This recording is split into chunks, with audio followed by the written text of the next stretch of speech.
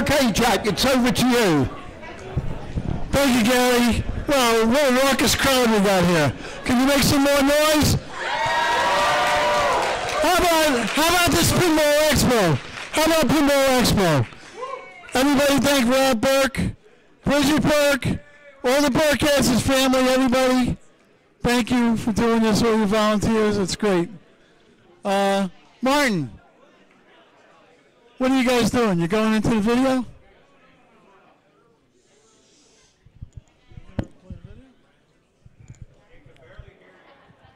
Can you put this mic up louder?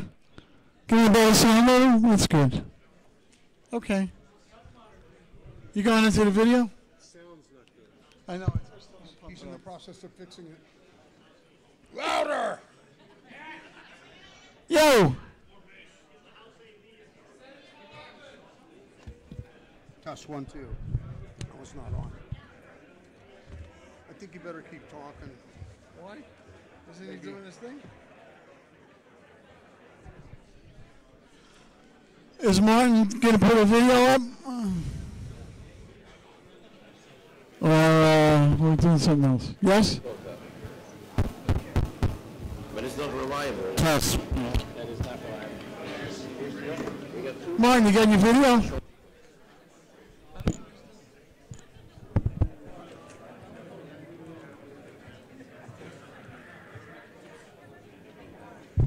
Okay, well, Martin's getting his act together. I got to say that uh, it's an exciting time to introduce a new pinball machine. And people, there's a lot of people making games, and we respect all of them. But being Jersey Jack, I can tell all of you that nobody makes a game like Jersey Jack pinball. One of the one of the things that was really important to us, we wanted to get Steve Ritchie into the company. I he's been a friend for a long time, and I believe in him and a lot of what he did. And right there, ladies and gentlemen, what you have is probably one of his best games that he ever created. Him and his team, they went all out. They went all out. They made a pinball machine that plays like it should. It checks all the boxes. The game is fast. It's fun. It puts a smile on your face. I've been playing mine for a couple of months, bragging, bragging, and it's it's it's really really a great game. Uh, I know on location, Steve Ritchie games make money. I was an operator, so don't have any fear about putting this on location. We made a new model. We made the Platinum Edition that has radicals that sparkle. It has a topper. It has art blades. And we're making 1,000 CEs. A whole bunch of them got sold today. I don't know if it's sold out, but it's going to be sold out. Spectacular game. And the whole team that did it, they deserve a lot of credit for doing all the work they did. You know, when when when Steve when Steve came to the company, the expectation was he was going to make a good game, and I can tell you that he failed miserably. He made a great game, made a great game with the team, and you know he pushed the boundaries of what we could do at Jersey Jack Pinball. I just give you one little statistic: Wizard of Oz.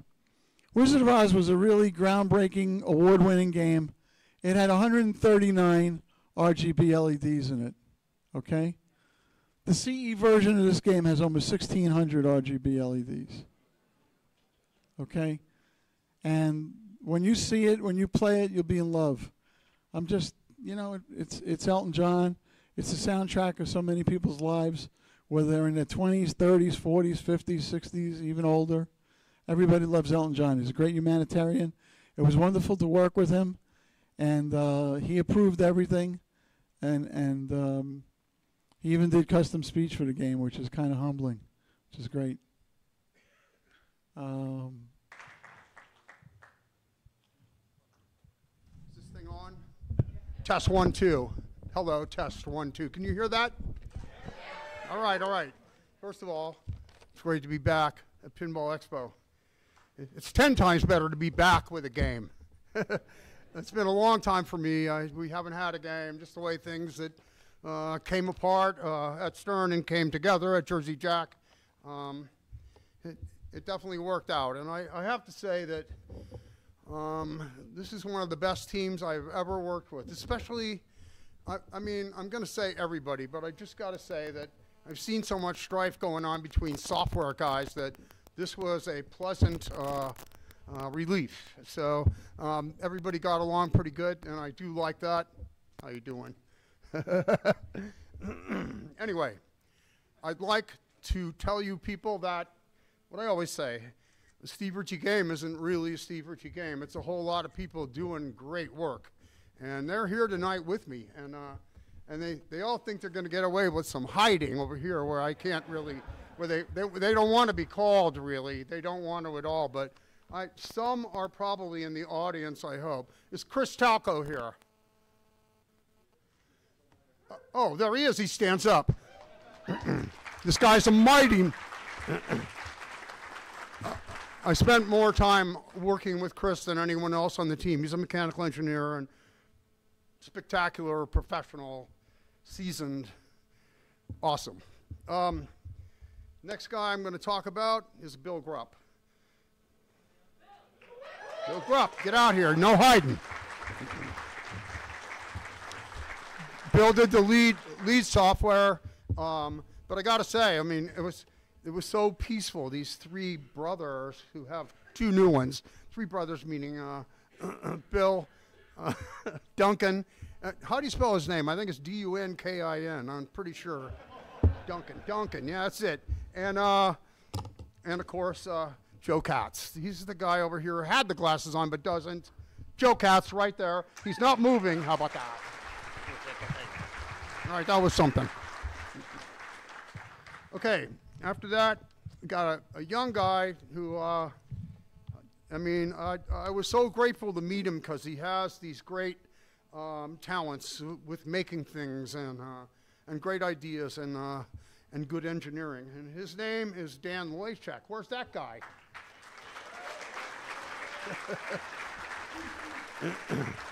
I'm grateful to know him. And also, he's taught me a lot of stuff about machinery and, and well, just good information. We have exchanged heavy duty stuff. Okay, after that, I'm going to announce uh, Dan Moulter, who probably isn't here. Are you here, Dan? No. Damn it! He's probably going to be in trouble. Uh, maybe Monday or something like that. I don't know. All right, anyway, Dan is um, the uh, lead mechanical engineer. I shouldn't say that. He is the boss of mechanical engineering. And uh, he did a lot of good work. He's not here to receive the uh, uh, kudos, but whatever. I can't. I can't. Uh, he, he's probably mad at me. That's what I think. Okay, so then we got. Um, we have this young guy.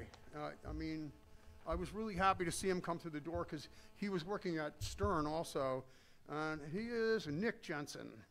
Nick Jensen.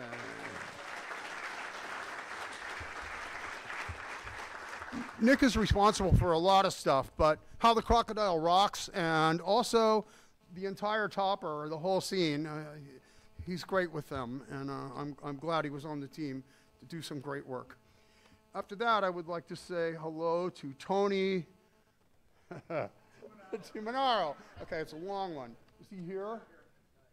Tony, where are you? Okay, electronics. He's like crazy good. I know it sounds like it sounds like a, a broken record, but uh, Tony is someone who works insanely hard. I'm being polite. He's a great guy and he gets a lot done. He's incredible, but he's also insane. Okay, then we got uh, a guy that came to the company recently. He's been a, a great asset. Uh, uh, we have communicated extremely well because he knows pinball very well and walked in and, and uh, started uh, helping us build the games. And this is, he's hiding over there again, Drew Young. Step out, Jack.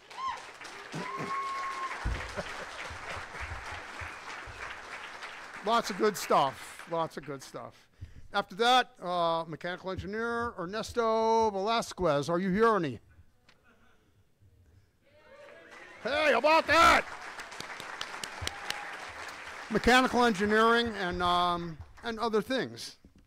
Um, after that, I would like to say uh, thank you very much to, uh, wow, Mark Molitor. Is he here? Oh, there he is. Get out here. Can't hide. No hiding.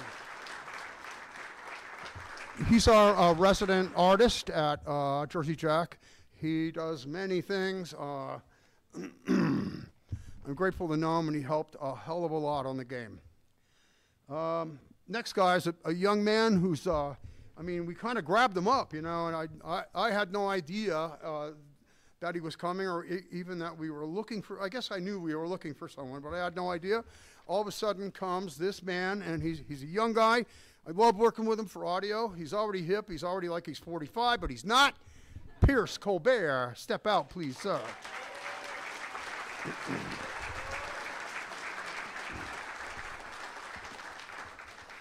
After that, I got to get uh, uh, handed out. I, I hate this though because the guy has such a big head. Chris Franchi, right there, artwork.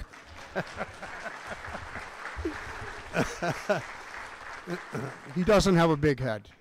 Uh, we got along well. I, I also love the artwork. I want to say that publicly. All of it. I love it. I don't. I get a lot of bad artwork on my games. I don't know if you guys have noticed. You ever seen a flash close up? How about Stellar Wars backglass with no, absolutely no perspective? All right, never mind that. All right, so we're going to go on to um, actually another artist. He's probably not here. I wish he was. John Youssi, who did a, a, a lot of the uh, the CE uh, model. Um, also, I, I've worked with him many times too. It's always a pleasure. He's just good. Um, after that, I, I have to. Uh, I got to give a hand to JP DeWin. I love the artwork. He, this is the guy that coordinated everything. Okay, He- he's a spectacular artist, and and um, we had some arguments, but they were small, and and he won them all. So, all right. So uh, next, we're going to talk about um, Mark Seiden. Where are you, Mark? Hey! Oh, he's brave. He stood up. I'm so glad. Mark Seiden started out as an apprentice. He had already made his own game, um, Mega Metropolis. was that? That's not the name. What was it? Metroid. Oh, right, Metroid. Yes. Okay, I didn't get it right. I've only played it like once, and it was a long time ago. Anyway, Mark was a ton of help on this game in the very beginning. Uh, he's the only guy I had, and uh, he, he's got a lot of good ideas too. And he is, I think he's going to be a great game designer. He has a game, and that's all I'm going to say about that. Okay. Um, wow, who's next? Mm, I hate to say this, but I have to call Olaf Gremmy. This man, if you look at the animations on this game, I swear to God, they blow away any game I've ever seen before, and I love them. He, John Paul, they do magic. That's it. All the way from the Netherlands. Somebody else here from the Netherlands, eh? All right. Um, let's see. Next guy. Uh, it ain't a guy. It's Crystal Jemnick. Is she here? Crystal, stand up.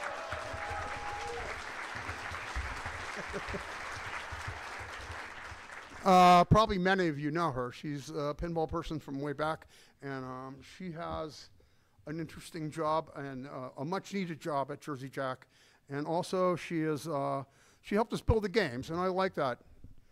I like guys who build games. I can't help it. Anyway, thank you. Um, also, Ted Estes, is he here? No, he said he couldn't make it. Also, software, he did some, yeah. He is here. All right. I'm blind, I'm sorry. You did say you couldn't be here. All right, all right, here we go. Uh, the next guy is, um, wow. Jason Allen. Jason Allen, where are you? This is a this is a rookie at Stern. I'm sorry, a rookie at Jersey Jack. Oh my God. He's done some very nice work. You will see it as you play the game in lighting, probably other things that I don't know about, but uh, I'm very impressed with him for uh, him and his buddy Taylor to come here uh, to our company. I'm really glad they caught on so quick and they're flying through now. And I love their enthusiasm about pinball. It's just, it's a special thing. And I, you know, a lot of people never get that. Uh, they ha both have it, and uh, I'm thankful.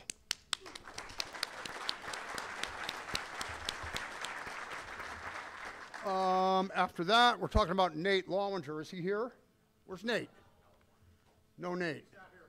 Nate is a bill of materials guy, but I, I, what I really like is when he comes by and says, "Can't put that nut on there because this nut is on the bill of materials." Okay, he tells me every part that we need to use. He knows all the part numbers. I don't know any part numbers. I'm not a part number guy. I never was and never will be. anyway, we thank you, Nate. And uh, we have Eric Miller. Eric Miller, are you here? Guess not. Also, um, electronic engineering, very good, on, and life testing. Um, he's done a good job for us, uh, making sure all these things last a long time. Uh, after that, I have to, uh, uh, Ashley Peterson, are you here? Awesome! Also in the electronics department. The whole company comes out. I love it. Except Ted Estes, he didn't show. No, he did. Never mind.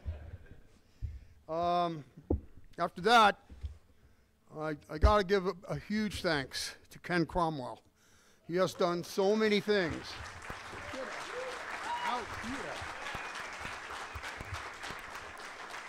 Okay, he's bashful. Anyway, uh, he makes us look good, and I, I love that. And uh, he's also a very creative guy. I mean, he just, you know, why don't we try this? Why don't we try that? He just, yeah, okay. Uh, interesting stuff. Um, man. The other guy I'm going to thank, he doesn't want to be thanked, but he's going to be. For many, many things he's done at Jersey Jack, uh, not specifically on Elton John, but on uh, just about everything he touches. I think for a while, sometimes, the company wouldn't work without him. And his name is Michael J. Fox. Where are you, Mike? Where are you?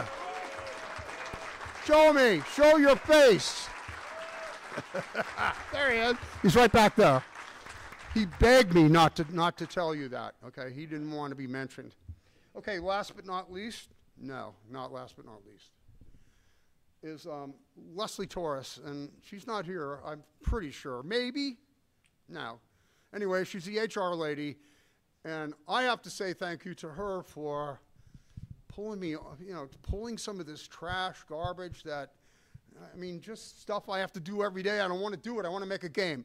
And, and she's helped me an awful lot. I'm not saying that, what am I saying? I just say that she's a, a very nice lady who understood that, uh, hey, I'm not getting any younger. I can't read as good without glasses, you know, and I, I'm just grateful that she's helped me through a number of circumstances. Um, there's another guy I want to thank, too. It's like, this guy, I've been with him, friends with him for 40 years, and it's like, um, got us every damn thing you could possibly want for Elton John. It's just, and we, we didn't get what we want. He got it anyway. And uh, there are several things like uh, there's some cartoon stuff that's never been anywhere except in Elton John's concert performances, and we got all those cartoons that he runs behind behind himself when he's during the show, and it's awesome. And, and it's like, uh, I just, uh, it's incredible. And then there's one more guy. Who was that guy? No, it's the same guy. he he kind of guessed it, I think. I, I might have given it away. I don't know. It's like, Who was that guy? who's the other guy? The I other was guy trying to figure out who the guy was. No, I'm just kidding. All right, uh, it's Jack. Uh,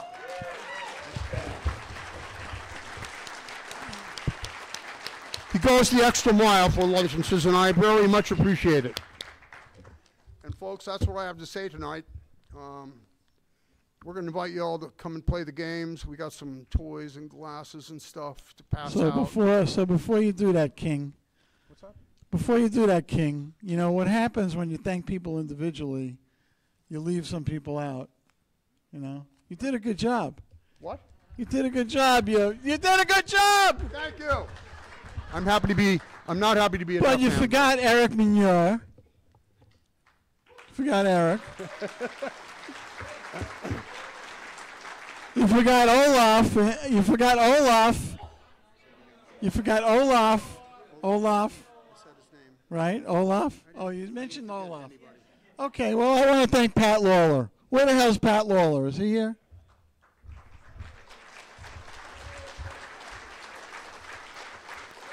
Pat came. I'm And glad I want to thank I want to thank all of you really because without you we don't have a company.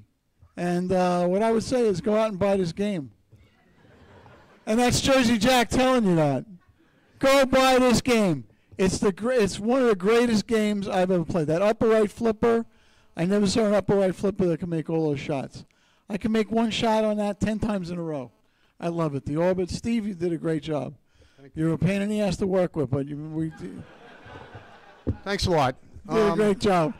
shall we let these people play the games? Yes. Let's go. And good night, and thank you.